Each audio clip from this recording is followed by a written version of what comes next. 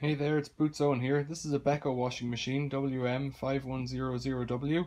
It makes a lot of noise when it's washing. I think it's the motor brushes rubbing off the commutator.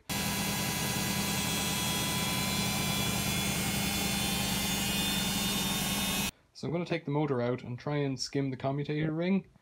Maybe on the lathe, maybe with a file. We'll see how it goes. Let's get it out. There's two big screws on the motor. Pull the belt off.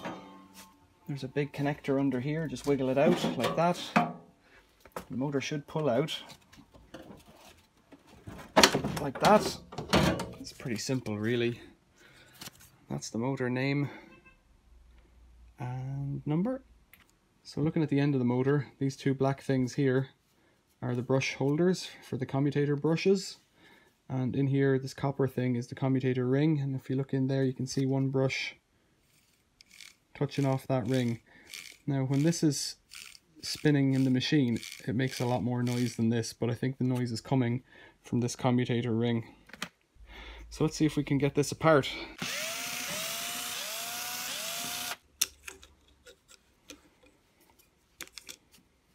I've checked the brushes previously and they're okay. They show this browning, which I think is from arcing and sparking on the commutator ring, so clearing up, tidying up that commutator ring could only help.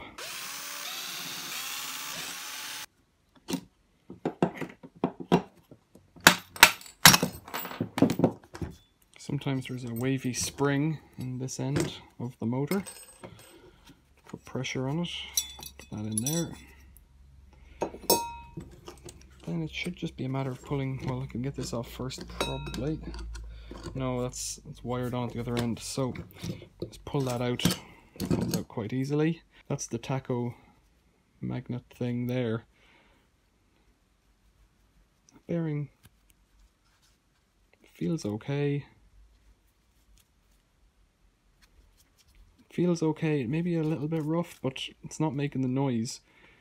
So it's just this copper ring here that we're looking to clean up. So I wonder if I can clamp this into the lathe, get it centered somehow and give it a bit of a spin.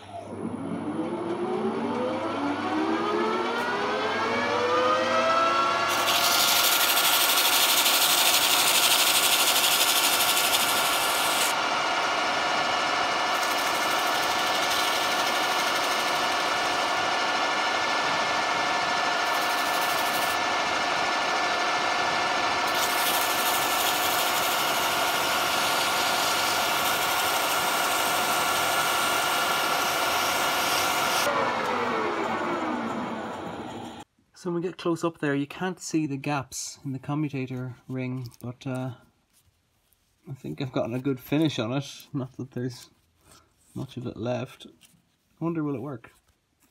I'll try it on the bench first. We'll take it out of this chuck and try it on the bench. So just for comparisons purposes, here's a different motor. And you can see the big black gaps in between each of those commutator bars. This one's quite good and clean. So I'm wondering now how I can chase them out. Because this is the one that I've just touched up and it's become one solid mass of copper. So I'm going to have to try and cut out the gaps between each one somehow. So if you get in here good and close, you can see what I'm doing. I'm just picking it out with a, an engineer's pick tool. But it's not great.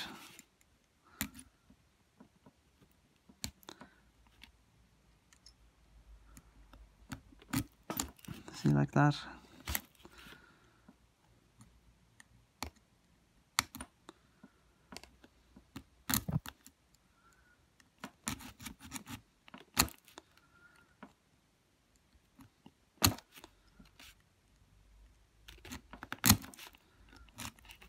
Just takes a bit of force by the looks of things.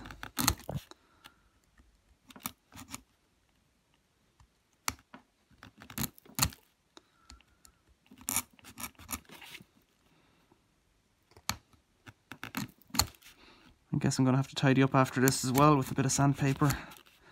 I've got it in the vise now and I'm just going to sand it off a bit.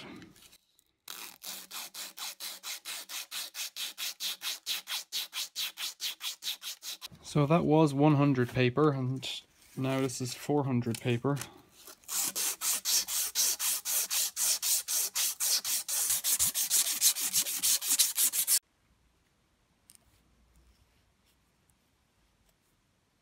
I don't think I'm going to get any better than that doing it by hand the way I'm doing it. It's quite smooth to the touch now and they should all be flat across the top.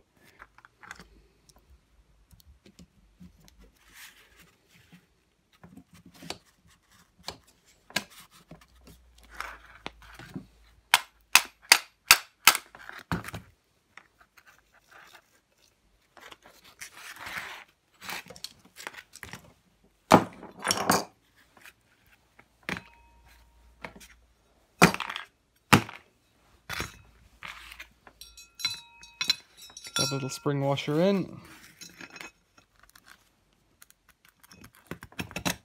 There we go.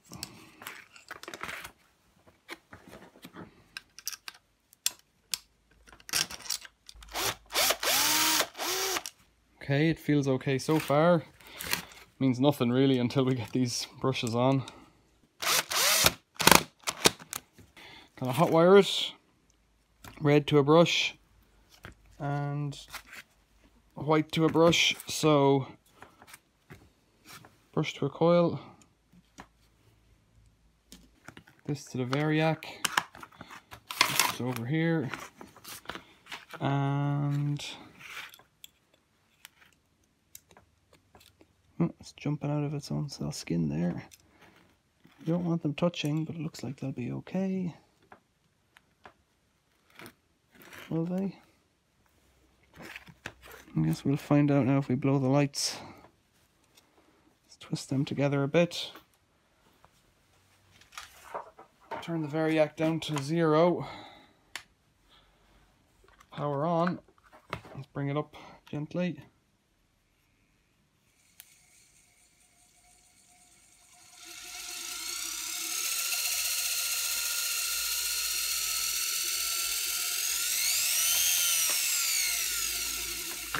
Okay, let's have a look at the commutator brush end.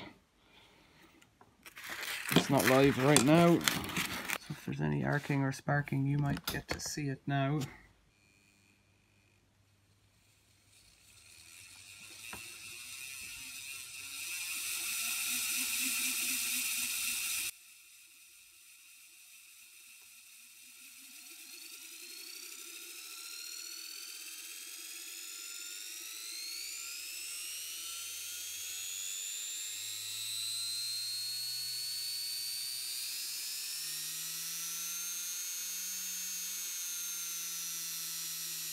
So when I brought the voltage right up there under no load, we're getting a tiny bit of arcing, but compared to some motors I've seen, almost nothing. Let's get it back in the machine.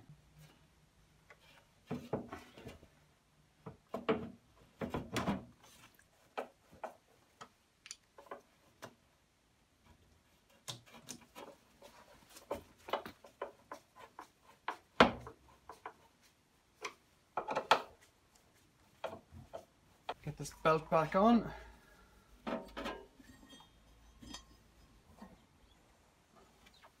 You gotta watch out, sometimes these bits here are very, very sharp.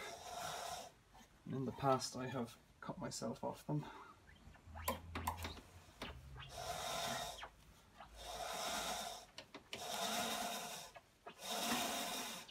Sounds okay.